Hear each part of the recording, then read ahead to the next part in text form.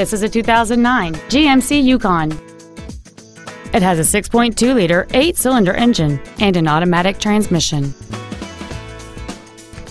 Its top features include power adjustable driver pedals, heated front seats, 10 perfectly positioned speakers, XM satellite radio, 20 inch wheels, and traction control and stability control systems.